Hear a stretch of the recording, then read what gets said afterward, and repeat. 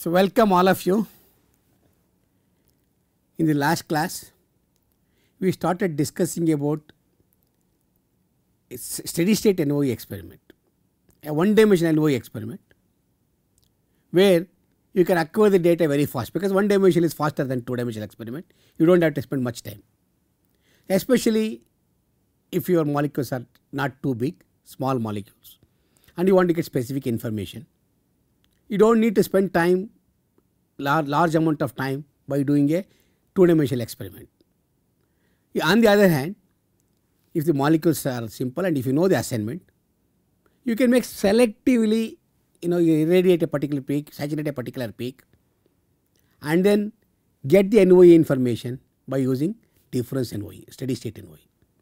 In fact, this is what I showed some examples how we can use it in a simple molecules, small molecules, especially for assignment of the particular substitution present in the my this thing. So, few examples we saw, uh, took last time. In fact, in the case of uh, pyridine substitution, when we and uh, para positions we have R and R prime. One is the ethyl group, other the methyl group. Which is ethyl group, which is methyl group, we wanted to find out. We could do that. And then we took some isomers of molecule like thujone, alpha and beta isomers. We know whether it is endo or exo. If we know yeah, one of the protons which is endo, if we hit it, I know which proton which is close to it in alpha, alpha isomer which proton is close in spatial proximity to uh, the H6 endo, then it is a beta isomer. I know which is the uh, alpha isomer or beta isomer based on this close spatial proximity and that NOE gets enhanced when I hit H6 endo.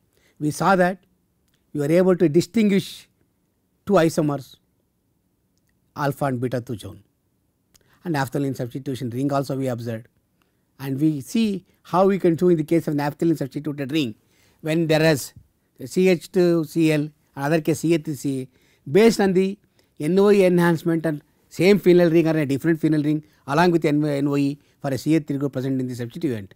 We could identify pinpoint out and say the substituent both the substituents are in the ortho to each other not only that they are on the same side of the one of the phenyl rings and where it is we could easily fix it. So, this is isomers two possible isomers were there we could do that. So, like this varieties of isomers uh, possibilities we could find out and we can rule out what is important what is uh, what is not important and get only particular structure. We did that even for one of the isomers we, we had 6 isomers possible in the fluorine substituted molecule and then we wanted to know which is the correct isomer. Then you know, by NOE we could eliminate few of the things and finally you know pinpoint and say only possible structure is this because of the correlations we could see. So, like that we have several examples. In this class I will take another one or two examples of that 1D NOE where bit more important thing to especially for the assignment purpose of the peaks also. So, and also we took example for assignment of a particular peak in a 5 membered ring, but we will show in this naphthalene substituted molecule how we can you know remove, remove the ambiguity of the assignments. For example, I will start with this molecule here. It is a 2 naphthalene, its OH is here. Okay. Now, in this molecule, there are two spin systems. One is 3 protons here, H1, H3, H4. Other is 4 protons, H5, 6, 7, 8. There are two spin systems. And of course, 1D spe spectrum I am not going to show that. I know you people will be knowing by that. Otherwise, also you can see from here. Okay. For example, OH peak is not shown.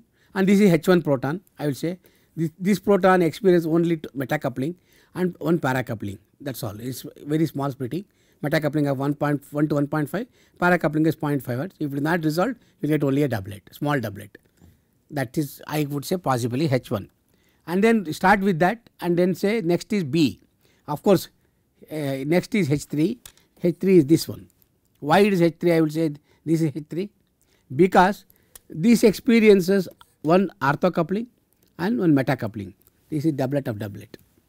Okay I can identify this one. And you go further you can complete the square and you can identify other proton also that is H4. So, all the 3 protons we can assign this one. And of course, there is a overlap here.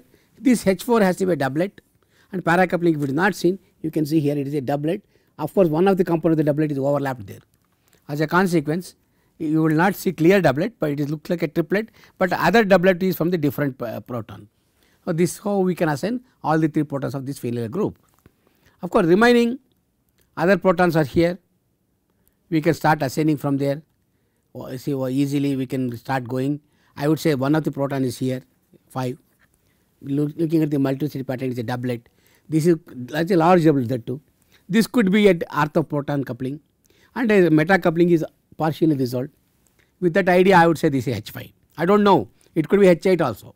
I will start assuming that is H5 then complete the square and I will say correlated peak this is H6 complete the square then I will say H7 from H6 then I will go further and I will complete the square. I will make the complete assignment and H8 okay. Now I could make the assignment based on the cross correlated peaks from the COSY spectrum. Very easily I could see that here. Start assuming that one is H5 uh, what guarantee is H5 why not H8 why that is a H8 also should have a similar pattern. Similarly H7 H6 should have a identical pattern. Even in this phenyl ring. Interestingly, this will also doublet of doublet of doublet identical pattern here also and these two will also have identical pattern. Now, if I started with this assumption H5, I am not sure whether H5 or H or H8. So, there is an ambiguity here. Spin shift assignment could be H6, H6, H8, H7 or alter, alternately that is also possible. So, in which case how to resolve the ambiguity? We can resort to selective NOE experiment here that is the steady state NOE experiment. We can do that. For example, C8 and H8 if you consider they are parallel to this bond C1 H1. So, if I irradiate this there is a possibility you will get the NOE here. Okay? That is a possibility. And similarly if you consider H4 H5 is close to H5 C5 okay these are all of course these two are far away from H8 of course. If I hit this you cannot get the NOE for this. If I hit this you cannot get NOE for this H4 is close to H5 and not to H8. This is basically looking at the structure you know. So, with this idea we will start doing the selective NOE. Selective NOE what we will do one of the peak I know is for in this my ring I have already assigned let us say I am hit, hitting this proton okay selective irradiation of proton H1 is this one. If I hit that proton where do you export the NOE this is a one dimensional spectrum now conventional spectrum. When you take the hit that one take the difference you see there is some enhancement here on this proton. What is that proton? That proton if I hit this one if this is enhancement is here it cannot be this proton because from the multiplicity pattern I know it is a doublet. So, it cannot be this one it, this cannot be H5 because H1 is when I selectively irradiate, I am getting enhancement, it must be H8 on a phenyl proton, that must be H8. So, I can assign that easily. Assignment problem is solved, ambiguity is resolved. I do not know whether I, stood, I have to start with this as H5 or H8. Now, I know it is H8 and I to confirm that I will irradiate H8. Then where do you get the enhancement? You will see on the this one H1 and other ring other uh, pro, this uh, H1 proton of the other phenyl ring it clearly confirms this H8 for me. And also there is enhancement for the neighboring proton from H8 this one. Then you know what is this one this is H7. Assignment problem becomes simple. You can now rule out why ambiguity. That is what we do. And then selective NOE experiment confirms assignment. What is the assignment? What was wrong, what was confusing ambiguity was there. Now I can say this is the possibility H5, H7, H6 you go in systematically in the left right in the frequency particular frequency order. Then I will know this proton is here, this is a next here, next in the increasing frequency or uh, increasing uh, delta high, high field. We can go for the confirmation of another molecule. You understood now how we can utilize the selective NOE to make the unambiguous assignment for protons in the molecule like phenyl rings. We can go for the uh, next one confirmation of 1 methoxynaphthalene in CDCl3. Here we use COSY for identifying the peaks, similar peak. Here OCA3 is here, CHO is here. Again two protons which are ortho to each other. Of course, we analyze this molecule remember we analyze where it should be and everything we, uh, one of the pro proton spectrum we analyze this one. This is a identifiable spin system this has to be from this group then obviously this is proton 2 and 3 fine. Then remaining 4 protons are here. This is doublet of a doublet doublet doublet 2 triplet egg pattern. 2 triplet egg pattern has to come from here and other 2 from this. So, assignment can be made by using COSY fine. And of course OCA3 is there CHO is there. They are not shown. They are far away. That is not of important right now. And there are two possible ways of assigning the doublet triplet triplet doublet. Okay this could be H8 H5 and this could be H7 H6 similar like what we saw in the previous example. How do we do that? We can resort to 1D or also do a 2D this is a simple molecule. There is no need of a 2D but still if you do the 2D what we see is here what happens. And we are going to see OCA3 gives a cross picked proton doublet at 6.87 this one. This has to be CA3 OCA3 is given to this doublet. This has to be H3 we can make the assignment for peak coming at 6.87 for H3 protons. Further you can see CHO shows correlation to proton at 7.88 here this CHO is here this should be this is giving correlation to proton at 7 point this is the doublet we know doublet of a doublet this has to be H2. So, H2 and H3 we can start making the assignment already and of course CHO also shows correlation to proton doublet another one at 9.2 and this is assigned to H8 because this is the only possible close spatial proximity it cannot be anything else. So, we can assign this peak which is coming here as H8 then you can rule out the possibilities this ambiguity will not be there now. So, we can make the assignment very clearly like this which proton is which. With another interesting part is this one look at this molecule. This is a molecule called geraniol is a 1D spectrum they are all expanded here. For example, if you look at this proton this one one this is a doublet because of this and a quartet because of a long range coupling doublet of a quartet. Similarly, all these things can be assigned. Now, the question for us is what is the conformation of this geraniol? What is the conformation of this molecule? For that we can make the assignment for using the COSY all the peaks have been assigned. There is no question everything has been clearly assigned systematically we know which is one and then uh, I showed you it should be a doublet of a quartet. From that we started ascending for all the peaks. Everything can be clearly assigned here using the COSY. Start with 1 I told you. So, 1 is uh, very ambiguously I, I know that from 1 you can go to 2, from 2 you can go to other things. Very see from 1 you came to 2 then we can go to 10 then 7 from 10 you can go to 4 and then also for, you can go to other things very easily 4 to 5, 5 to 6, 6 to 7 like that. Of course, we can also identify how many protons are there, how many CH3s are there, CH2 and CH3 is there by using DEPT 90, DEPT 135. This experiment confirms there are 3 CH3s. Remember DEPT experiment I told you? It confirms there are 3 CH3s and 2 CHs are here and CH2s are uh, negative 3 CH2s and 2 CHs. And of course, there are 2 quaternaries which have no effect. So, from then you can see from the normal spectrum. You can identify the types of protons CH3, CH2 because this, this is a simple molecule.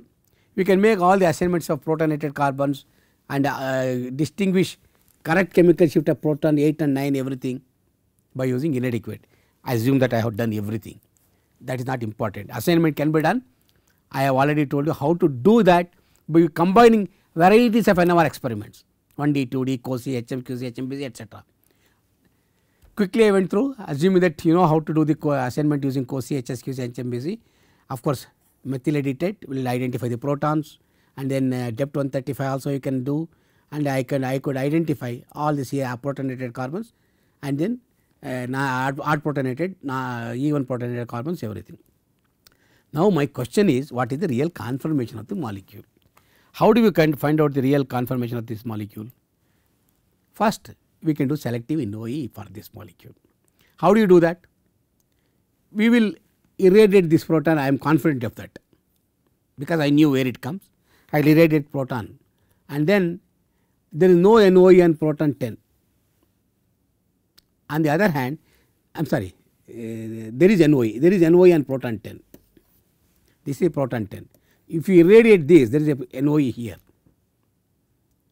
And to confirm that, you irradiate 2. When you irradiate 2, here there is no NOE on H1. They are not on the same side. That what the conclusion is. If they were on the same side, irradiated 2 would have given the NOE for this. When I irradiate 2, there is no NOE on H1. Whereas irradiate H1, there is NOE and proton 10 because that means 10 and this one are on the same side. Okay, that is fine. Go to the next one. Irradiate 8 here. There is no NOE on this proton 6. There is single proton here. There is no NOE on proton 6. On the other hand, irradiate 9 or 10 because they are close by, both you have to irradiate simultaneously. Then you are going to see NOE and proton 6. That is interesting. Here if you irradiate there is no NOE on this, but if you irradiate this you have a NOE here. What does it mean? Proton 6 and 9 are on the same side of the double bond. You can confirm that. You irradiate 6, you get the NOE on the proton 9. That shows the proton, this H6 and H9 are cis to each other. They are on the same side of the double bond. So, if the NOE difference if you from this uh, geranyl molecule, what is the conclusion we can draw? NOE on H10 when H1 is irradiated, there is no NOE or some weak weight you can see on H1 when H2 is irradiated. That means confirms H, H10 and H2 are on the same side. Okay. Another thing no NOE on H6 when H8 is irradiated and NOE on H6 when this is irradiated H9 NOE in H10 of course when the reverse way when H6 is irradiated. This confirms H6 and H9 are cis to each other and H8 and H6 are trans to each other. You can get the geometry of this molecule. Correct confirmation of geranyl from NOE experiment, difference NOE experiment is this because these two are trans to each other, these two are cis to each other and this and this are on the same side of the same, same side of the double bond. There is an isomer of this molecule interestingly that is called neral other one is called geranyl this is neral. See this is the isomer of this. What is the structure of this one? Can we get the NOE uh, without going into assignments and everything quickly? Same I will irradiate proton 1 here. No NOE and H10 interestingly. Remember in the previous geranyl they when we irradiated again 1 was there was NOE and 10 but here there is no NOE and the other isomer of this molecule. Irradiate 2 there is NOE and H10 very good NOE you see H10 there is NOE. What does it confirm? These 2 and 10 are on the same side of the double bond that confirms. Come here NOE irradiate proton 9 like similar case proton 9 there is NOE and H6 this one and irradiate 6 NOE and H9 the converse is also true. That means H6 and H9 are on the same side of the double bond. If they are trans to each other like we saw in previous many examples there would not have been any NOE. So, that means these are on the same side of the double bond cis and at the same time if I irradiate proton 10 there is no NOE and proton 2 that is that is another interesting thing. If I irradiate here there is no NOE here okay. I am sorry. So, what from this what you can conclude is NOE difference spectrum NOE in H10 when H2 is irradiated, NOE in H2 when H10 is irradiated confirms they are cis to each other 10 and 2 proton 2 and proton 10 are cis to each other. In the other NOE cross peaks you see NOE and H10 when H6 is irradiated, NOE and H6 when H9 is irradiated they are cis to each other again. So, H confirms H6 and H9 are cis to each other and H8 and H6 are trans to each other. Two isomers of the same molecule. How we can get the structural information very easily just by doing 1D difference and. You got the point now. How we could do 1D difference and. I think we have given lot of examples, lot of things we have discussed. There is no point in discussing further with these things continuing with the only steady state NOE experiments. I have given n number of examples to get you know the, how to make the assignment based on the different uh, substituents in the phenyl group, regiospecificity and cis trans conformation. All those things can be done in a selective experiment. Only thing you have to be very careful for frequency selective excitation how you do. And simple molecule you can do. You can't do this experiment on a big protein. It is impossible to do that by without disturbing the neighboring peaks because spectrum will be very complex. In such cases, you have to do transient NOE by doing 2D NOESY. I am showing this in simple molecules, if a simple organic molecule if you are working with. You don't have to spend time, you can do the data acquisition faster by doing steady state NOE experiments. With this, I am going to stop with this NOE. I will go to a new topic now. That is another one dimensional experiment and we will discuss that. That is called one dimensional TOCSY experiment. Identical experiment similar to remember we discussed TOCSY experiment 2D TOCSY. What did we do? Similar to COSY. We apply 90 degree pulse and then mixing pulse in the transverse plane. What is going to happen there? Chemical shifts are refocused, J couplings are present and the spins lose their identity. There won't be there are no chemical shifts. When there is a Hartmann-Hahn matching condition, I told you there is a transfer of magnetization among all the coupled spins. That is a TOCSY experiment. And I showed you also the TOCSY experiment what happens it depends upon the mixing time. And then the magnetization has to traverse to all through the coupled spin system one after the other. So, it depends upon the time of the mixing time mixing period and also strength of the coupling both are important. If the coupling strength is larger you will have a stronger peak and if this uh, proton is very far away very weak and also far away but forms a part of the coupled spin system then also it takes you will see the, the thing but takes you know you have to uh, see that the cross peak intensity will be little less. So, this in information is very important you can do this thing the uh, TOCSY cross peaks depends upon mixing time and also the strength of the coupling that we can do for a big molecule again a two dimensional experiment. Very simple molecule if you have why do you have to do the 2D experiment can you not do this data acquisition faster by doing a one dimensional experiment a selective experiment we can do that. I will show you that now. What do you do a selective excitation and a non-selective excitation? I think we already know that. If you do not know the selective excitation means you can apply RF pulse so that only particular peak is excited that is detected. All other peaks are suppressed that is the beauty of NMR. See this is called application of a soft pulse for a you know uh, soft pulse means it is not sharp with this a width is larger and then selectively you can apply pulse. So that only particular peak is excited. All others are suppressed. This is called selective excitation. But this is non selective excitation. We can do this by applying a hard pulse 90 degree pulse. All the uh, you know spins all the protons which are in the entire range of chemical shift get excited. That is a hard pulse non selective excitation. This is non selective this is selective. Selective is always done by soft pulse. This is what remember that with this we can do TOCSY in a different way. What does one dimensional selective TOCSY does? This is a cell remember in the TOCSY experiment we are going to apply hard pulse and then we, we have mixing and then vary T1 and then collect the signal that is okay.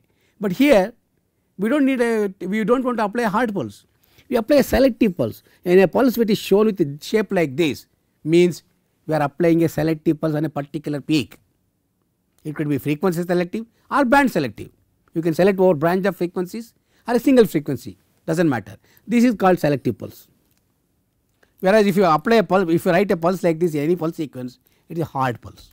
Please remember that.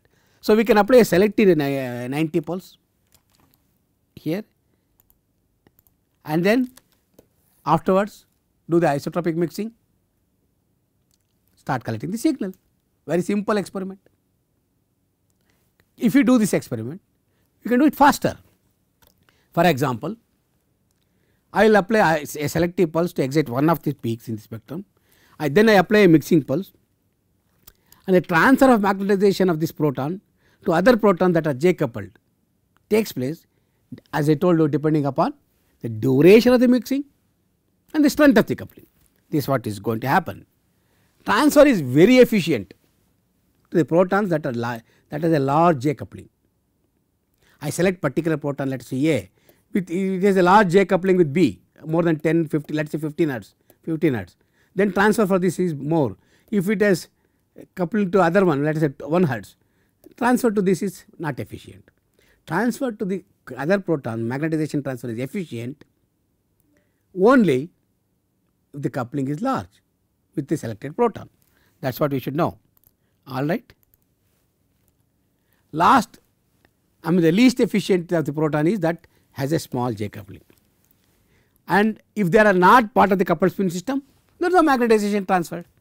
This also we know that always in the 2D TOCSY also we discuss the magnetization transfer takes place among the protons that forms the part of the coupled spin system. If they are not coupled among themselves there is no transfer of magnetization. We saw that we I showed you the you know a 4 into 100 meter relay example where particular spin system only can get the uh, magnetization transfer like batons transferring from only for a particular team members not for other teams of the different countries. We saw that in one of the slides. So, intensity of the NOEP also depends upon the number of transfers and the efficiency of each transfer that depends upon magnitude of J I tell you okay. Sequential transfer of magnetization among coupled spins goes like this. So, let us say I irradiate proton A selectively I, I excite this proton. Then let us say there is a J coupling between this and this, there is a transfer of magnetization between this and this. Then this is coupled to this, there is a transfer of magnetization, this is coupled to this. So, sequentially it starts going one after the other. Supposing I, I give very small time and do not give enough time for the spins to propagate, magnetization to propagate, propagate you know it will not propagate completely then it will restrict only to this give more time it will propagate to this give further time it will propagate to this if they are farm, if they are among the coupled spin system. So, that is also very important this is how the polarization and transfer takes place. So, we will see how we can do the selective TOCSY on particular molecule. This is a molecule methyl alpha glucoside and we want to see can we use one dimensional TOCSY selectively. And then eh, selectively exert them. And then keep on doing the isotropic mixing with a different time, see how the magnetization get transferred. Systematically we can start the assignment, we can do that.